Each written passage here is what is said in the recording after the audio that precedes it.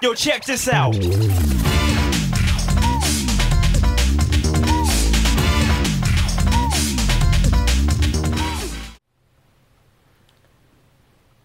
Hello. Today we're taking a look at the PC Engine, actually more spe specifically the CoreGrafx PC Engine, which was the, the second revision of the PC Engine. There was three revisions.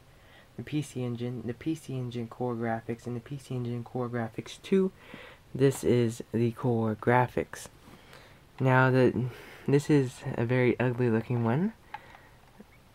I plan on getting a better looking one, but for $15, it, it was a good deal. okay, so here's the system. It says PC Engine CoreGrafx, NEC, AC adapter, AV out. Now this is the difference between the CoreGrafx and the regular PC Engine. The regular PC Engine only has a RF out. Here is the front on has a red sticker this side here is the let's see let it focus the expansion for the for in the original white model you can use the AV booster which allows it to have AV out or in this model and all the other models actually you could use the PC Engine CD-ROM or Super CD with this.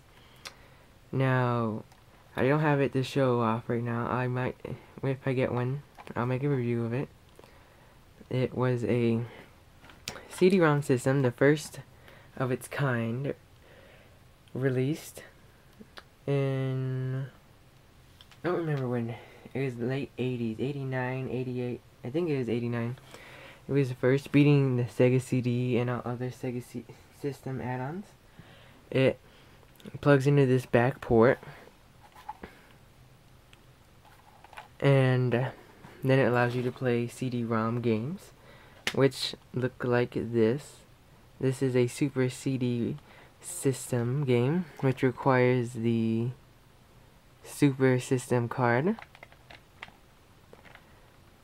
This game comes in a double case, even though it is a single disc game, which many of the games do, which I have no idea why. Now, one interesting fact about the system is it has no region no region lockout, so the American Turbo CD games, which I have one um, I have one. These, I have a Turbo Duo. I do not have any of the PC Engine CDs. This will work perfectly fine on it because it is a super system card again like I said earlier will work perfectly fine on it now an interesting thing is because this is back when CD technology was very new and very expensive they put the copy gains you need thousands of dollars worth of equipment so they didn't put any copy um, protection uh, anything like that so it's very easy to be a pirate. And you are a pirate! So yeah. Okay. So here's what the standard gains look like. They come on these little HuCards. This is Winning Shot. This is the only PC Engine game I currently have. I have several TurboGrafx games, but these systems are region locked. Here's the back of the card. Very small card.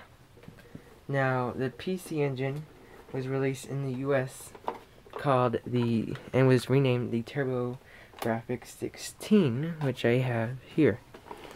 Now, it is quite a bit larger. Why they had to make it so much larger, I don't know. It's the same height, but it's a lot wider. The width, the depth of it is the same, but it has this cover which is this is where the CD expansion is on this. So yeah, see? Yeah, it's a lot, it's a lot bigger. Okay, there's other differences as well. Here's the front. Now from a distance, it looks like the controller port is the same, but this is a lot bigger than this. And the controllers are incompatible. Okay. The CoreGrafx came out in 1989 and it looks very similar to another system that NEC released in the same year. And it is the SuperGrafx. That the SuperGrafx is much larger, has the same color scheme and everything. Now to give you an idea of how small the CoreGrafx is, here is a standard dual disc case, CD case, and it is about the same size. The height of the PC Engine CoreGrafx is a little bit taller, but yeah, see, it's about the same exact size, same width, same diameter, just a little bit taller. So yeah, that's pretty cool. Now, the NEC released like pff, a billion versions of the uh, PC Engine, official versions.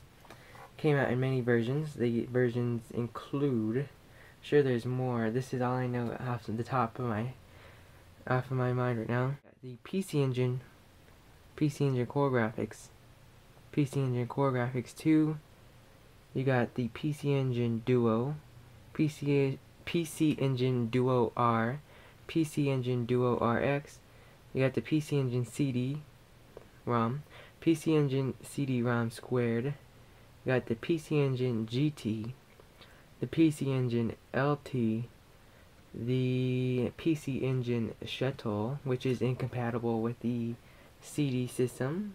So if you want to get that, just that's a important little thing to know. And yeah, here's the controller. This is actually a third-party controller. But yeah, they're basically the same. You got turbo. Got one, two. Now there are other releases of the controller that had three and then eventually six buttons. You got select, run. Let's let it focus. Okay, he's not focusing for me. Oh well. Here's the D-pad. And yeah, this is the battle pad. So it's pretty cool. And yeah, so now we're moving on to some gameplay.